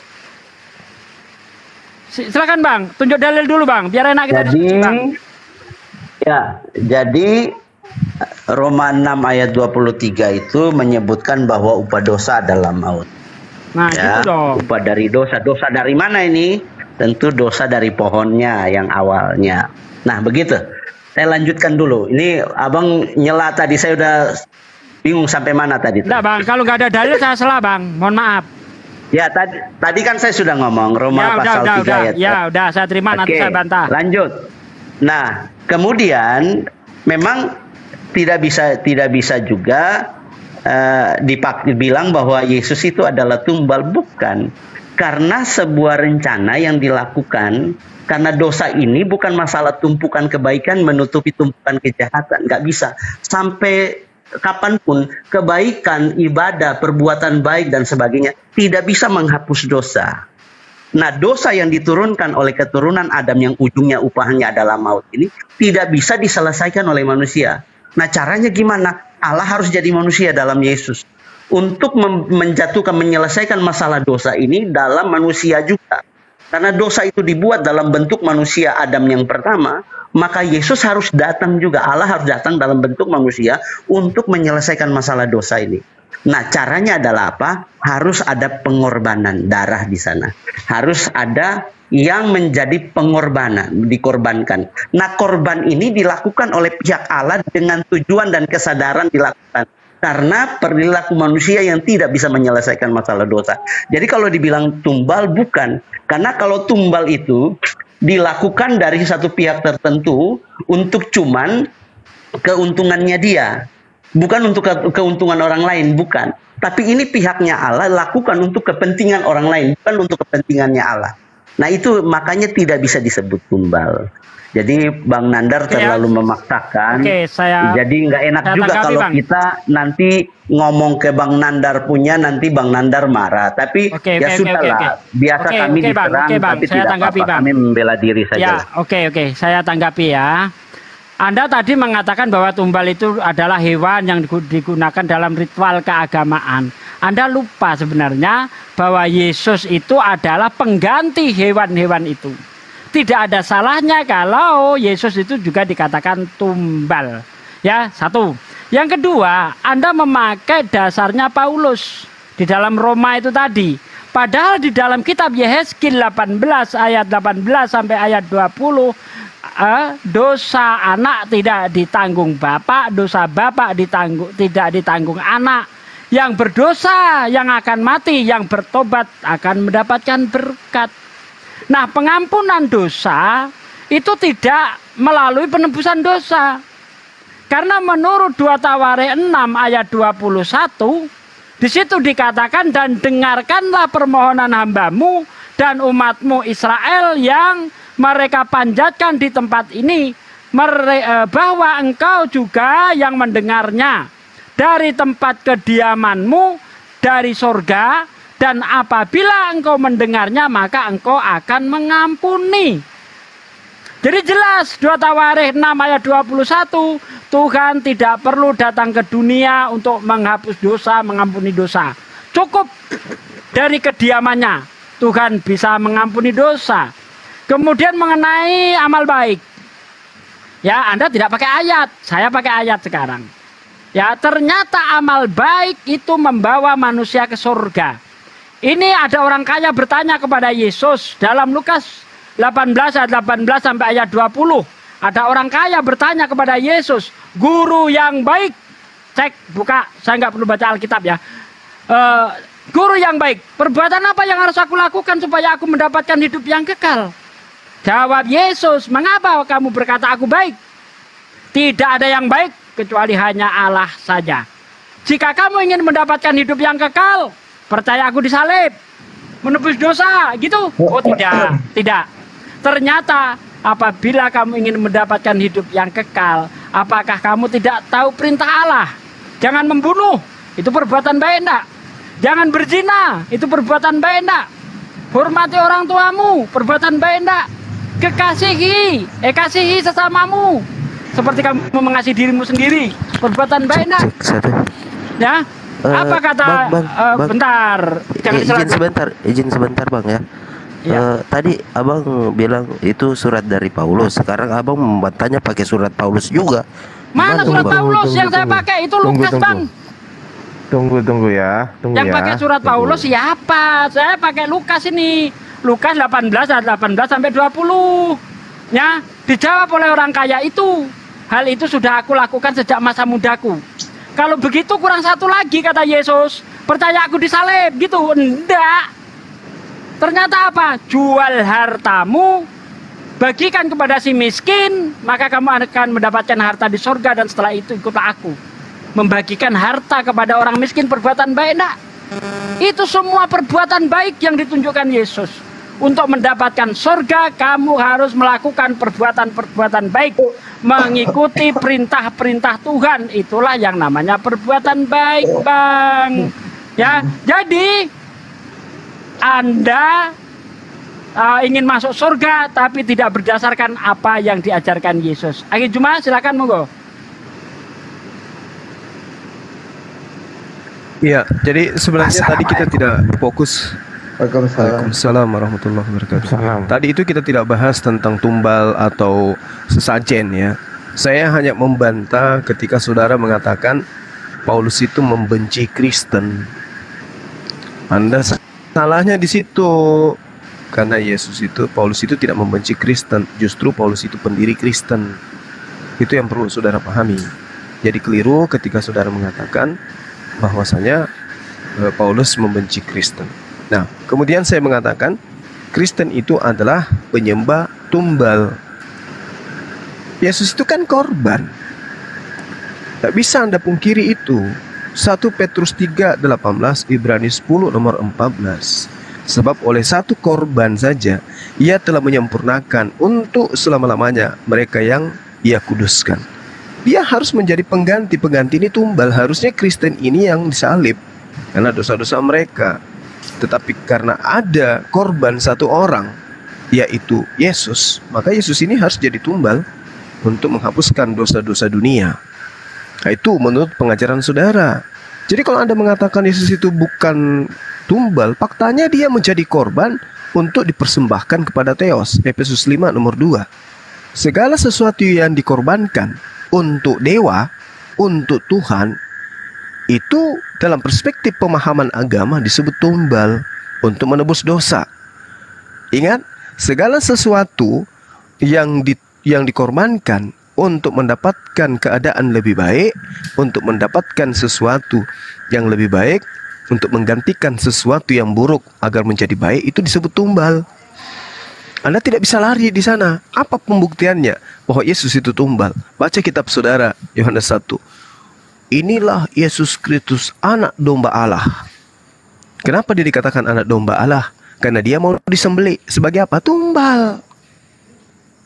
Ya, pahami itu, Bung, supaya Anda jangan jangan panik dengan keadaan karena itulah fakta yang ada di lapangan. 1 Tesalonika 59 uh, atau di ayat di data nomor 10 di situ dijelaskan karena Theos tidak menetapkan kita untuk ditimpa murka tetapi untuk beroleh keselamatan oleh Yesus Kristus Tuhan Kristen yang sudah mati untuk Kristen supaya entah Kristen berjaga-jaga entah Kristen tidur Kristen hidup bersama-sama dengan Yesus ini data ini Bung jadi oleh karena Theos tidak menetapkan Kristen untuk ditimpa murka tetapi untuk peroleh keselamatan oleh Yesus Kristus. Maka Yesus Kristus yang sudah mati untuk kita supaya entah kita berjaga-jaga. Ini maksudnya Kristen ini. Ya, jadi saudara harus memahami bahwa Yesus itu adalah korban. Korban sama dengan tumbal, tumbal sama dengan sesajen yang dipersembahkan kepada dewa atau teos atau Tuhan. Nah sekarang di Efesus 5 nomor 2 Yesus itu disebut sebagai korban persembahan kepada Theos. Ini masuk ke bulan ke-6 Belum ada Kristen pun yang membantah Theos mana yang meminta sesajen atau tumbal berupa darah manusia. Belum ada yang bisa membantah Belum ada yang bisa menjawab. Nah, sedangkan di kitab saudara Ibrani 10 nomor 10 dia adalah korban persembahan. Begitu juga di Ibrani 8 nomor 29. Itu adalah korban persembahan. Nah, ini yang perlu saudara pelajari lebih jauh bahwasanya ternyata memang kalian itu penyembah tumbal sedangkan pengikut-pengikut Yesus yang asli mereka tidak menyembah korban persembahan. Oke? Catat itu ya, teman-teman. Silakan. Ya, Terima kasih Bang Nanda. Jadi saya coba Bang Zuma, Bang saya Zuma, Zuma, Bang Zuma, Bang Zuma. Ya, Oke bang. Bang Nanda kita kasih ngomong lah biar apa. Bang Zuma, oke okay, Bang Zuma, sorry. Jadi terkenal banget ini Bang Nandar sama saya ini. Ya, baik. Konsep pemilihan uh, uh, masalah korban dan tumbal ini ya gini lah dalam konteks uh, KBBI bahasa kita yang tidak terlalu banyak dia punya kosakata untuk me mengartikan kata korban dalam bahasa Yunani ini memang agak susah karena kosakata dalam bahasa Indonesia untuk masalah korban ini ya yang ada salah satunya adalah tumbal. Jadi susah juga untuk uh, kemudian uh, kawan-kawan ini akhirnya menyudutkan dan memaksakan ke sana. Oke, terserahlah kalian mau bilang korban, eh, kalian mau bilang tumbal terserah. Tetapi pada konteksnya tadi sudah saya sudah jelaskan bahwa uh, kata tumbal itu lebih dilekatkan pada hal-hal yang tidak sifatnya datang daripada Allah yang tidak sifatnya un untuk untuk melayani Allah bukan tetapi sifatnya kepentingan kepada dirinya. Sedangkan Yesus datang dari Allah bukan untuk kepentingannya tetapi untuk kepentingan yang uh, orang yang uh, lain. Tanpa diminta tanpa dipaksakan tanpa didesain. Nah itu yang harus di, dibedakan. Korban itu seperti itu. Mungkin karena kita punya uh, kamus bahasa Indonesia punya kosakata tidak terlalu banyak untuk bisa menggambarkan kata-kata ini ya susah. Nah, karena diterjemahkan dari dalam bahasa Yunani baru masuk masuk ke Inggris, kemudian baru masuk ke Indonesia, kita terhalang dengan masalah bahasa. Jadi sampai hari ini untuk Bang Bang Zumba saya tidak sepakat atau tidak setuju dengan kata-kata itu klaim pribadi yang uh, kalian buat sendiri dan nanti ya terserah kalian tanggung sendiri kata-kata itu kita berdoa supaya nanti moga-moga kamu yang menyembah tumbal nanti tapi kami menyembah Yesus yang adalah Tuhan dan juru selamat uh, mungkin tidak ada terlalu banyak untuk saya menyanggah itu. Lanjut bang. Bang Nandar suruh ngomong dong Bang Nandar dari tadi disebut-sebut terus. Bang Nandar, Bang Nandar, Tafadol. Abang Nandar. iya, saya disebut-sebut terus kayaknya ada sesuatu ini. Pak siapa Por Beliau rindu. Eh, apa namanya? Kawan kita dari Kupang ini lawannya nih. Iya, dari tadi saya disebut terus ini. Ada apa, Pak? Naksir apa gimana ini? Mungkin dia kangen kali. Iya. Lanjut bang. Lanjut silakan. Oke oke oke. Baik. Sedikit. Jadi saudara ketika Anda menolak kata tumbal meskipun faktanya demikian. Coba Anda jawab aja dulu Ibrani 928. Di situ ada kata prospero yang artinya dipersembahkan. Jadi Yesus itu adalah anak domba yang dipersembahkan kepada Theos. Oke, saya salah sedikit. Persembahan buat sesuatu yang ilahi dan yang tidak ilahi itu berbeda. Iya. Penempatan kata-katanya pun berbeda. Ilahi itu bahasa Jadi- Quran, Bang. Yang ada adalah persembahan untuk Theos. Theos itu sama dengan dewa. Bahasa yang pertama bahasa Tuhan. Aramaik itu lebih tua dari bahasa Arab. Saya tahu, Ya, Bang, tetapi, ya. tetapi Anda se- Jadi sekarang jangan jangan Anda di Anda dong. di Indonesia ini kitab Sumber Anda di ter- abang itu terjemahan sumber-sumber abang itu dari bahasa Arab bukan Aramaik, Bang. Jadi Nah, sekarang- kalau sekarang- dipertanyakan keasliannya pun tidak begitu kuat, Abang. Coba Anda tunjukkan di dalam bahasa Aramaik kata ilahi di mana tertulis. Nah kan nggak bisa. Lanjut. Gimpe ulumu. Nah, jadi kembali Ibrani 9 nomor 28 di situ ada kata prospero. Prospero itu dipersembahkan. Kalau persembahannya Bang dari manusia bahasa Aram, Bang. Bang, ilahi itu datangnya dari bahasa Aram bukan bahasa Arab, Bang. di Coba- di coba data disebut, disebut. Iya, di data mana itu di di kitab asal mana? dari bahasa Aram ilahi kata Iya. ini digunakan untuk merujuk kepada yang berkekuatan yaitu Allah yang berasal darinya dalam konteks agama ilahi digunakan mengungkapkan keterkaitan dengan ilahi jadi bukan bahasa Arab bang jangan suka Iya, klaim bang Coba Anda tunjukkan di mana kitab apa bab berapa nomor berapa yang ada kata ilahi dalam bahasa Aramaik. Silakan. Kaib. itu kan tidak harus dalam kitab bang karena bahasa itu kan bahas apa apa percakapannya manusia dan kemudian bahasa itu dipakai untuk menulis kitab jadi nggak bisa kemudian memaksakan kayak begitu bang ini kan kata bukan ayat Mana?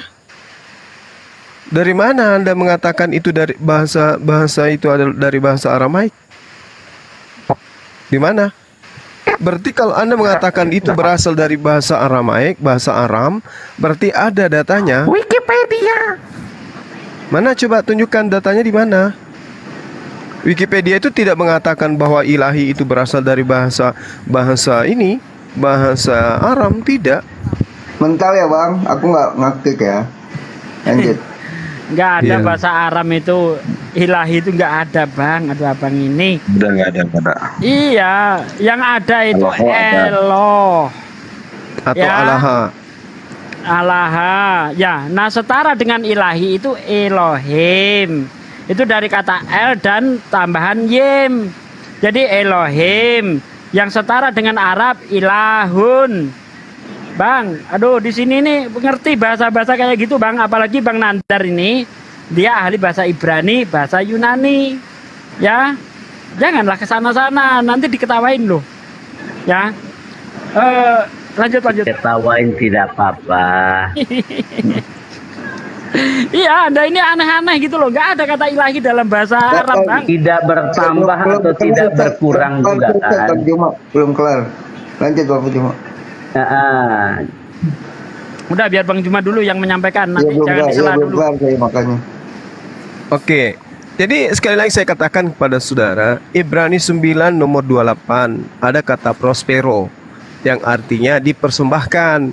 Sementara di dalam uh, original di dalam kitab saudara di lembaga kitab Indonesia menuliskan itu mengorbankan padahal bukan mengorbankan di situ. Dipersembahkan. Dipersembahkan dengan mengorbankan itu berbeda. Ya makanya sekali-kali Anda coba lihat original teks kitab saudara itu menuliskan apa gitu loh. Jadi Yesus ini adalah anak domba yang dipersembahkan kepada Theos. Nah sekarang yang Anda harus tahu Theos mana yang selalu meminta korban atau tumbal atau sesajen dari darah manusia. Setahu saya, sejauh saya belajar, yang meminta tumbal darah manusia itu hanya Dewa Molok. Nah, Tuhan pencipta langit dan bumi yang memperkenalkan diri kepada nabi-nabi yang datang kepada Bani Israel itu tidak pernah minta persembahan darah manusia. Karena itulah saya mengatakan Yesus ini tumbal dan Kristen ini tidak pernah dibenci oleh Paulus. Ini akarnya tadi yang saya katakan saya ingin muntah ketika Anda mengatakan Paulus pembenci Kristen. Kristen belum ada sebelum Paulus ini mengajarkan Yesus yang tadinya mayat kemudian dibangkitkan untuk menjadi Tuhan oleh Tuhan. Itu baru Kristen itu ada di Antioquia mempertuhankan anak manusia yang sudah ditumbalkan kepada Theos. Nah, pertanyaannya Yesus ini tumbal yang dipersembahkan kepada Theos mana? Karena Theos itu banyak. Bukan hanya satu Theos itu, karena Theos itu artinya Tuhan. Di original teks kitab saudara dipersembahkan kepada Theos. Theos mana yang minta persembahan darah manusia? Coba Molok, Imamat. Imamat berapa nah, siapa itu Ahi? Imamat 18, 20 juga ada. Hmm, tuh dia. Yeremia 10 juga ada. Mana itu bang, bang? Jawab silakan.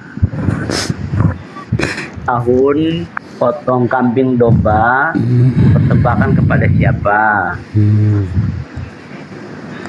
Gini bang. Forgu, silakan bang Forgu. Saya ditanya. Iya. Apa pertanyaannya? Kurban kambing dipersembahkan kambing, domba, sapi dipersembahkan hmm. ke Teos yang mana? Hmm. Ya, dengarkan. Di dalam Imamat 1 nomor 2, Tuhan mengajarkan ketika di antara kamu Bani Israel ingin mempersembahkan kurban ya kepada Tuhan, maka persembahkanlah hewan kurban. Al-Qur'an surah Al-Hajj ayat 34 jelas sekali ketika kalian eh, umat-umat terdahulu sudah sudah diperintahkan oleh Tuhan pencipta langit dan bumi untuk mengorbankan korban persembahan berupa ternak hewan. Jadi antara Islam dan agama Yahudi itu berkesesuaian tentang kurban persembahan. Bedanya kalau di Islam kurban hewannya untuk mendekatkan diri kepada Tuhan. Kalau di Yahudi korban persembahannya untuk menebus dosa. Nah di Kristen korban persembahannya yaitu manusia untuk menebus dosa-dosa seluruh umat manusia dari dosa keturunan yang diwariskan oleh Adam. Nah pertanyaan saya, Teos mana yang meminta persembahan darah manusia. Kan larinya ke sana tadi. Tidak lari. Bukan ini sebenarnya yang menjadi tujuan bahasan kita. Bahasan kita ini tentang kitab anda yang tidak pernah mendapatkan legitimasi dari Yesus. Ya silakan. Terserah anda yang mana anda kuasai untuk anda jawab. Jongke ke mana tadi Jongke? Kabur. Nggak kuat. Silakan Bang Forgu Baik, jadi kalau bicara tentang teos yang mana, kita Alkitab itu menjelaskan tentang Allah itu cuma satu. Nah, Allah yang disebut YHWH, yang disebut pencipta langit dan bumi, yang dalam konteks Alkitab itu Allahnya Israel. Nah, itu Allahnya orang Kristen. Nah, itu. Jadi tidak ada perubahan dalam teos di situ. Jadi kalau teos-teos yang lain yang abang maksudkan itu tidak ada di situ. Kalau kebanyakan dipelintir ke mana-mana karena Yesus harus mati dan sebagainya, itu cuma cara yang dipakai untuk menyerang. Tetapi Alkitab dalam perjanjian lama itu merujuk kepada apa yang dituliskan oleh bangsa Israel, Allahnya Abraham, Allahnya Ishak, Allahnya Yakub, itu disebut Allahnya orang Kristen. yang kemudian mengosongkan diri, mengambil rupa manusia, menjadi manusia serupa dengan manusia untuk melakukan penebusan. Nah, penebusan itu bukan karena kita mengorbankan dia, tetapi karena kehendak dia untuk menyelesaikan persoalan yang tidak diselesaikan atau bisa diselesaikan oleh manusia. Karena setumpuk per perbuatan baik tidak bisa menyelesaikan setumpuk perbuatan dosa. Tadi ada bicara tentang ada orang yang di pangkuan Abraham itu. Nah, memang kalau dalam konteks itu masih ada percampuran antara apa yang disampaikan di Perjanjian Lama dan Perjanjian Baru. Jadi, penulis dalam hal itu dia menulis tentang hal itu harus juga diterjemahkan dimengerti bahwa dia ada di dalam dua budaya tradisi waktu itu tradisi perjanjian lama dan ada juga tradisi perjanjian baru yang sudah dimulai oleh Yesus.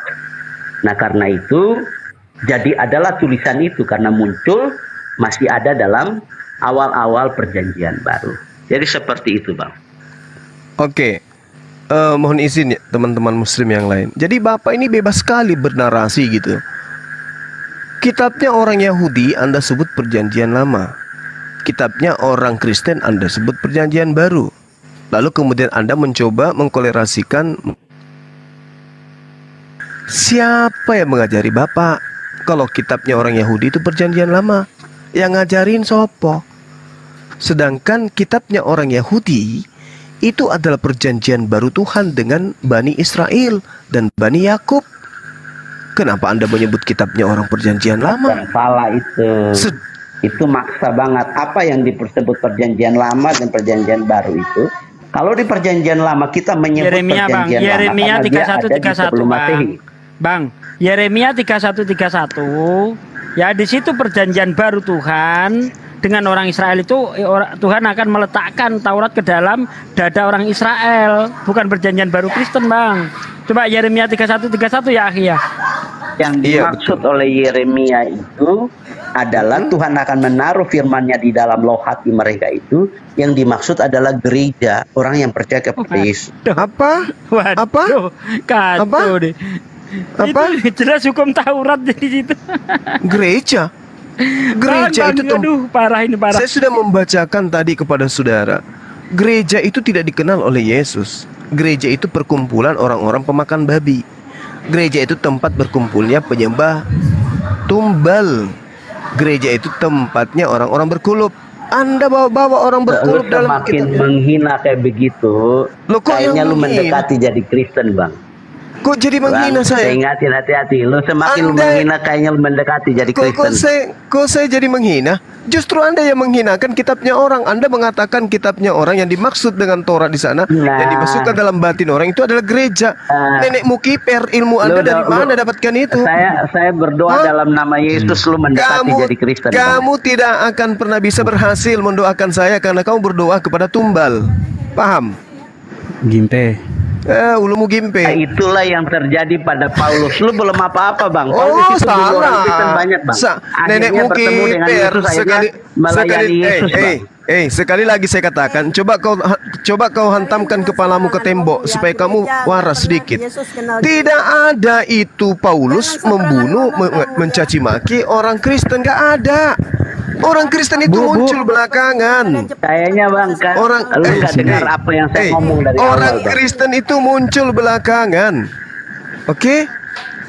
Di saman hey, is, dengarkan dengarkan saya. Samannya Yesus penyembah tumbal itu belum ada.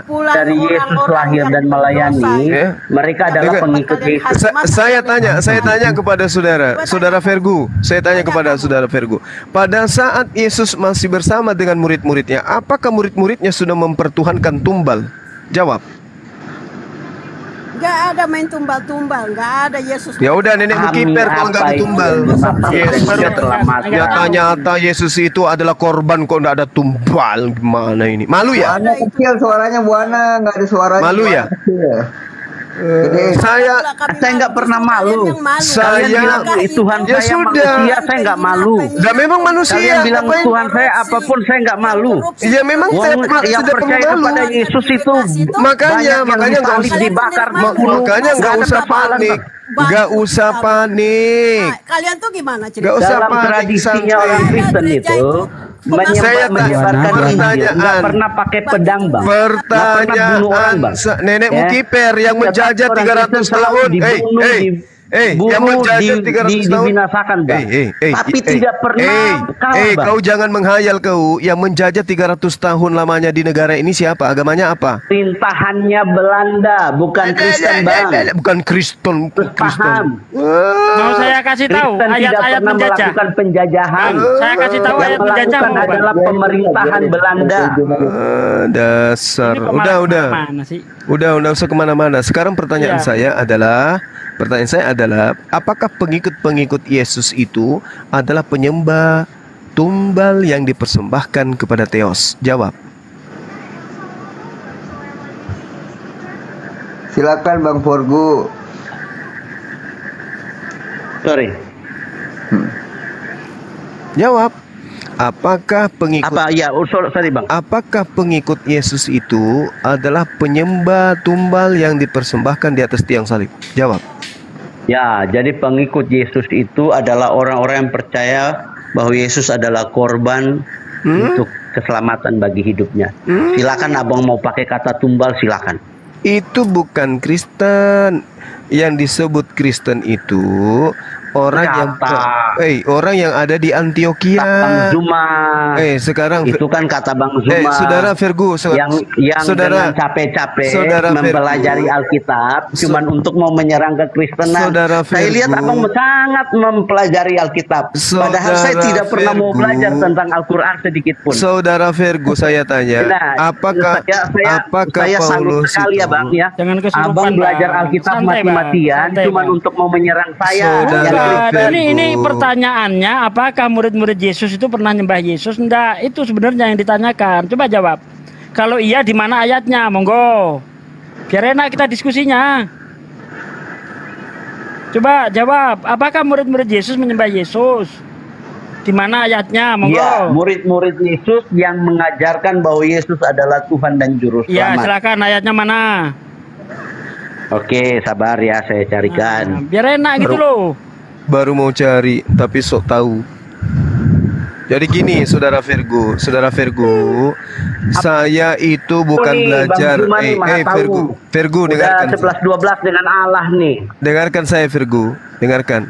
Saya itu belajar Bible. Kristen untuk menyerang Kristen. saya belajar usah seperti tentang Bang Virgo. eh, Virgo, Virgo, Virgo. Saya belajar Bible itu bukan untuk menyerang. Saya belajar untuk bertahan. Karena iman kalianlah, agama kalianlah yang menyerang-menyerang Islam. Paham? Oke? Karena agama kalian itu nyamar-nyamar jadi Islam. Paham? Kami disebarkan tanpa pedang, Bang. Nenekmu Tidak kiper. pemakan, Bang. Nenekmu kiper gempu, Nah. gem, gimpe, gimpe. Kau Tidak cuekin telingamu orang untuk untuk Aduh, nggak memaksakan masuk topik, jangan gitu lah. Ini bang, saya kasih tahu ya.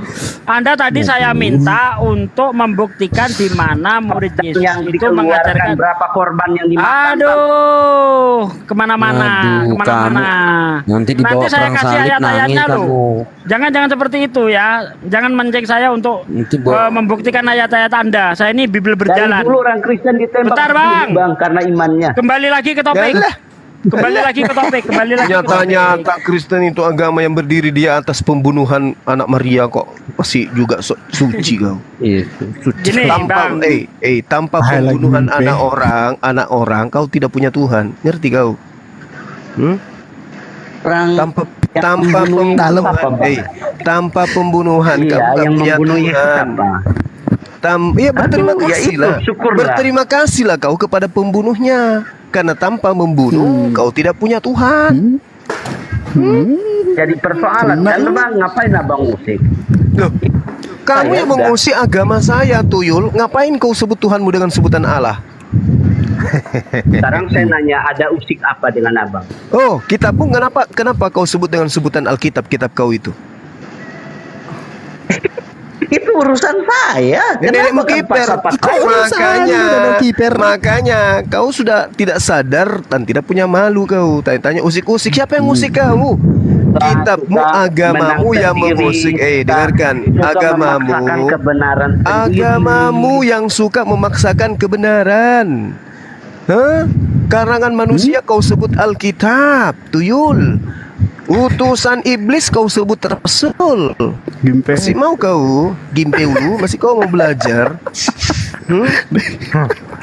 Jadi rasul bang. Paulus mana? utusan utusan iblis kau bilang Dari mana rasul. orang Arab itu disebut yang punya tradisi Hmm, rasul dan orang nabi? Arab sih. Ada. Orang Arab sih mau larinya kau Hmm, hmm, Arab? Agamamu itu berdiri di Romawi Yunani. Dari mana orang Romawi punya nabi? Hmm, masih mau kau datang besok? Dari mana? Nabi mana yang menerima wahyu dari Tuhan menggunakan bahasa Yunani? Yang tradisi Iya. punya tradisi nabi dan rasul itu orang Israel, orang Yunani. Ya kau bukan Israel. Kristen itu bukan agama yang didirikan oleh Israel.